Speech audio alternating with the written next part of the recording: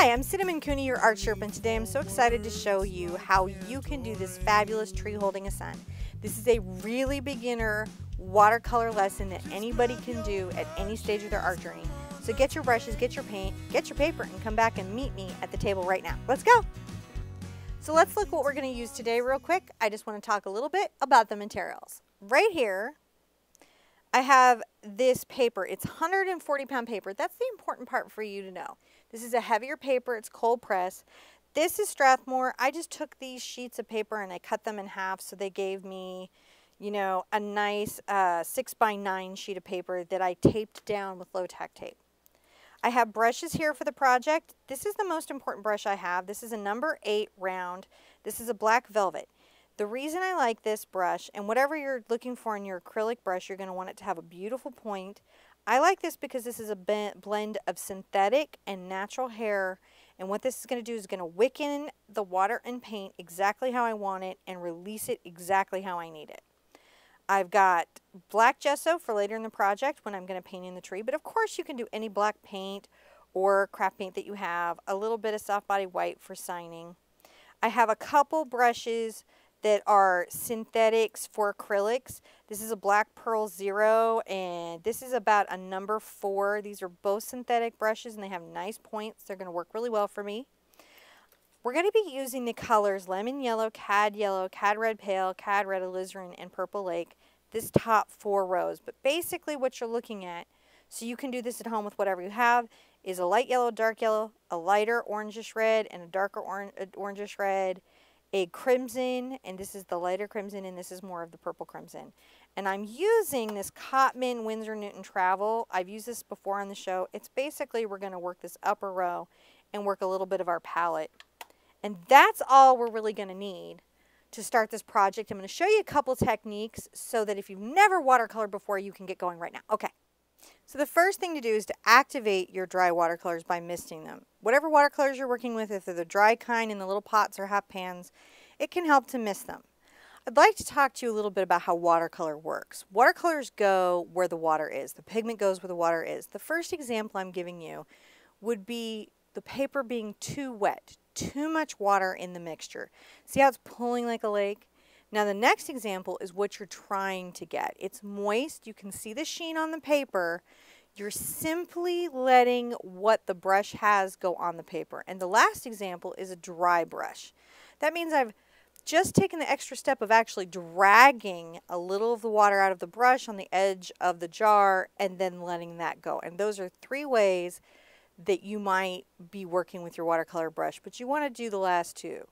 Now, this is a glaze I'm going to show you and a wet into wet because these are the two techniques we basically flip back and forth with, with watercolor.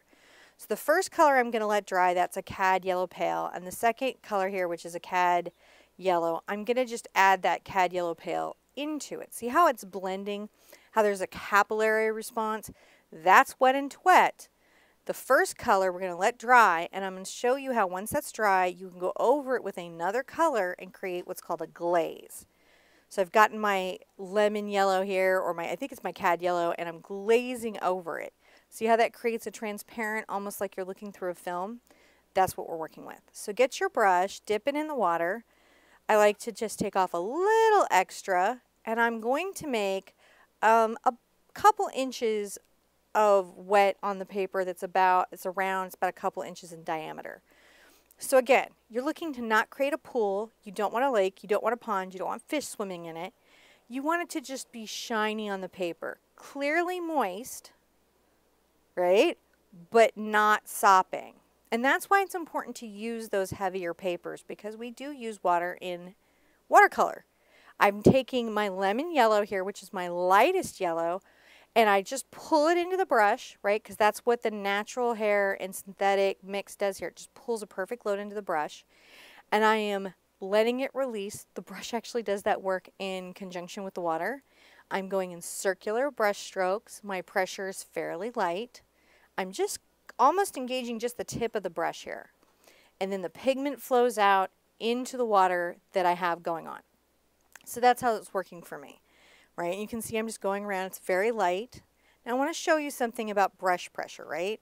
So on the brush pressure, when you're pressing light, the brush should have a small kind of bend to it. The, the, the whole bend of the brush should be very gentle, and you should be working mostly the tip. But if you're over engaging in your brush pressure, you're going to be pressing down in what's called like pressing the heel. So that's what you're trying to avoid is just pushing in. You know, I'm getting some more water and I'm going to grab a little of my cad yellow on this. But this is just my next darkest color of yellow because I'm going to be gradating out. You can see I'm doing brush strokes around the circle. So one side of the brush stroke is against the dry, therefore the paint doesn't just go willy-nilly all over the paper. And the other side is next to the wet, where capillaries in, right? And so this is going to create kind of this fun tunnel ombre that we're looking for. It's really simple. It's really engaging. Anyone can do it. You can totally do it. And now I'm going to get my Cad Red Pale and my Cad Yellow, and I'm going to mix a little orange together you saw there on the palette. And again, I'm just going around the outside. Notice that I'm not freaking out about the white paper showing through. One of the great things about watercolors, you should let the paper show. The paper should peek through. I know that's the opposite of what we do in canvases, but it's what we want. I'm grabbing a hair here off the paper that came in. I just used my brush to do that, and I'm going to come back with the brush and soften it. My pressure, again, is light. I'm not, you know, transmitting from my shoulder through the brush to the paper. I'm grabbing now just my pure Cad Red Pale. When I say Cad in this, all the watercolors are hue. They're all hue. So it's not really cadmium, it's just the color cadmium would be if it were cadmium. So that's that particular kind of orange color there.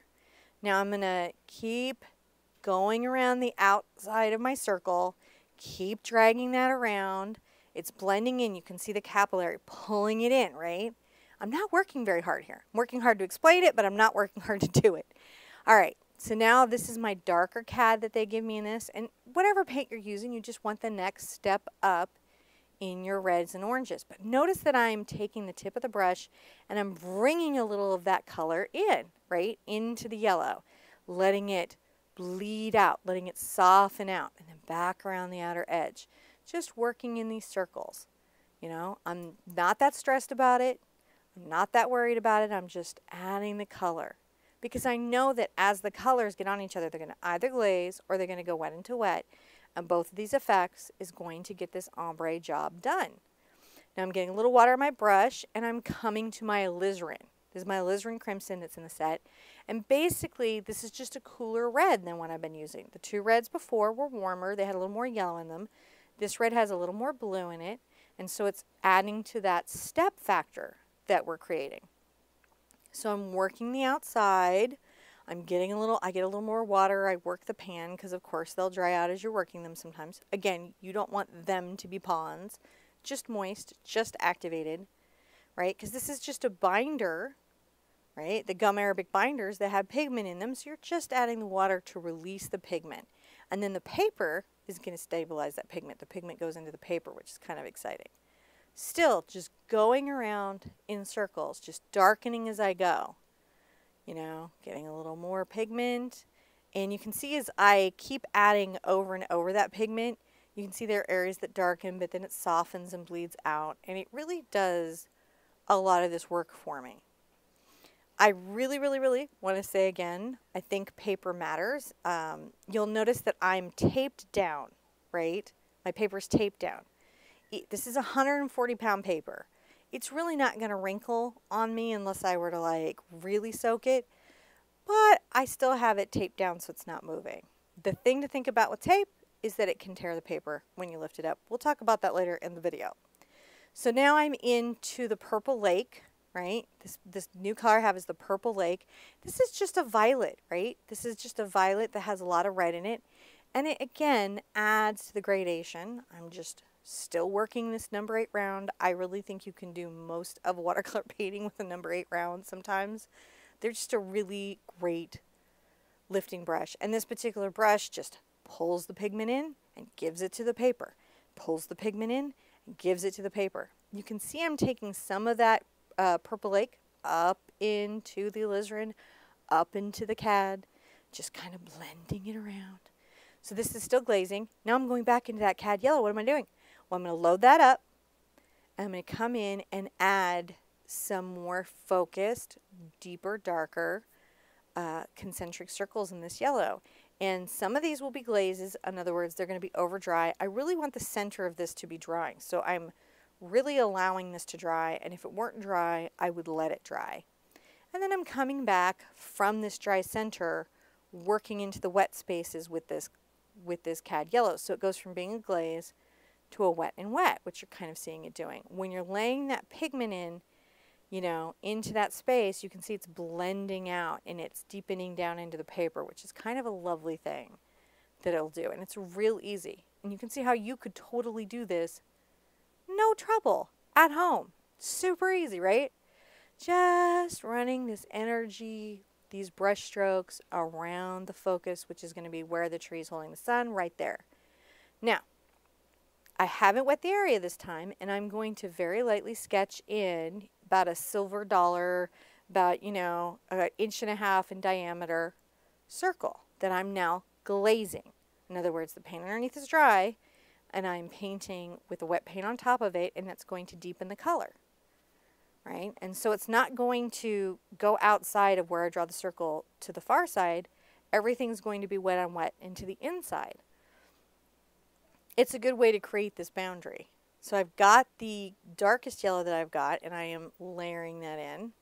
And I'm just pulling that in and enjoying that. And I'm making sure the shape is what I want. And I'm leaving light in the center. I've kind of done little concentric circles and the little end part in the center ended up looking like a heart, which was just fortuitous. It wasn't something I actually intended, but really was thrilled happened. All right, so I've got my CAD. I'm working the outside.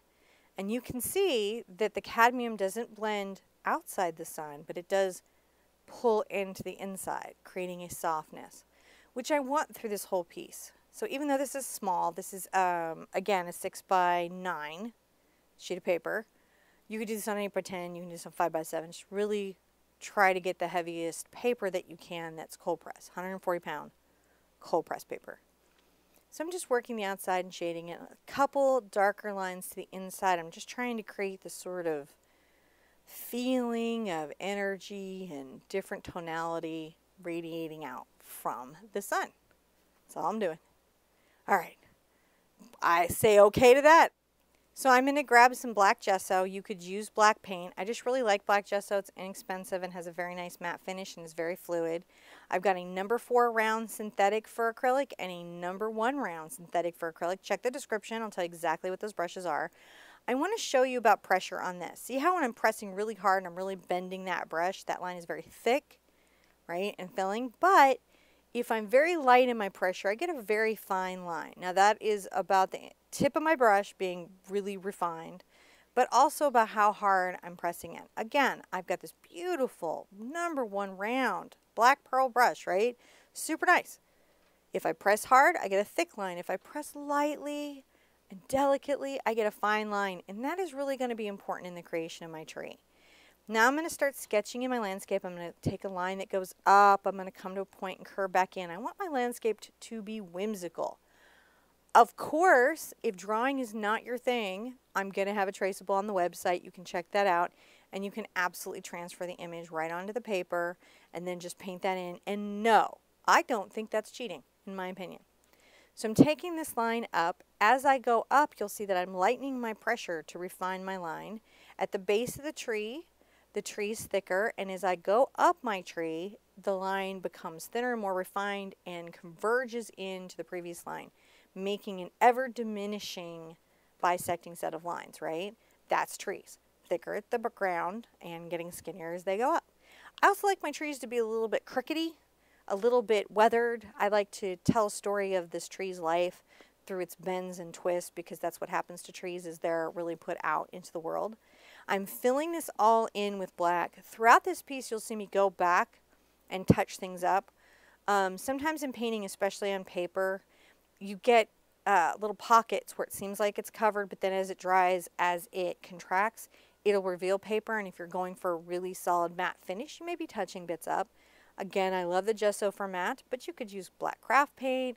Um, if you're going to use a Sharpie or something, one thing I'd like to say to you is test your paper and make sure that the absorption of the paper doesn't create a really feathered uh, line with your ink. So I'm just going up very slowly. Um, if you wanted to freehand this in, remember you can very lightly, lightly, lightly with pencil pre-sketch in things, right? You can do that. You're not married to it because it's really hard. In acrylic, we can undo really easily, but an acrylic paint over watercolor paint does not undo easily. So it's better to just think it out a little bit first and then refine it as you go. I'm still like carrying these light lines as I go to the ends of the brushes. So that's about what I showed you earlier. Press heavy, get a thick line. Press lightly, get a light line. It's all about engaging and just if you need to, you know, just do, just do it on the tip of your hand here. You know, be just like, this is too hard. This is very soft. A friend of mine gave me this advice, and I was like, that does explain it. If you're bending the brush to the metal of the ferrule, you're pressing too hard. You want to just very, very gently engage just the tip of the brush to your hand. So when the stroke starts, you're going to be about a half bend, and then as you go, it just lightens up and just engages the tip, and that's how you refine that line. So I'm just adding branches as I'm coming out. A thing that I do on branches is I don't like take the branch from the same joint, right? Like fingers. It's I would do my next branch at like essentially the knuckle. I'm trying to stagger these branches.